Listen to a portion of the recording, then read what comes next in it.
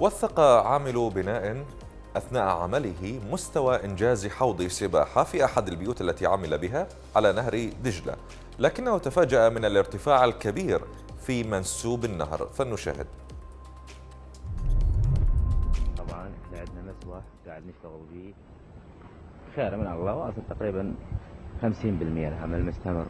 بس سبحان الله صارت لنا في الشغلة يعني غريبة عجيبة اللي هي دجله صعد صار ويا مستوى المسبح هسه إيش تنصحونه؟ شو نسوي للمسبح؟ نسقفه ونسوي سفتتين يقولون كمله مسبح هاي يوميا يصعد شبرا دجله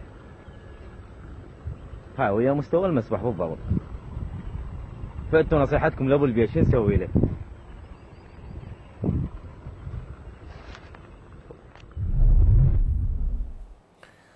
طبعا تكملة لهذا المقطع عمال البناء أتوا باليوم الثاني ليكملوا عملهم ليجدوا أن حوض السباحة وحتى البيت قد غرق بمياه نهر دجلة بعد أن ارتفع منسوب النهر إلى مستوى عال. فنشاهد.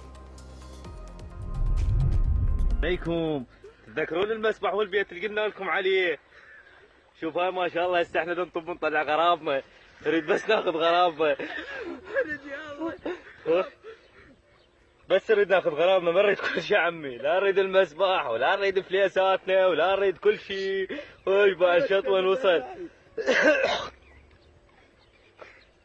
با ما شاء الله. نروح نشوف الجسم. يبوي. ما شاء الله كله بالشاط هذا ماكو عم الشتاء يسمع بالشاطئ. يلا. بدنا نسعوفك من هاي. شو راح نطلع غرابنا؟ العدة مالتنا.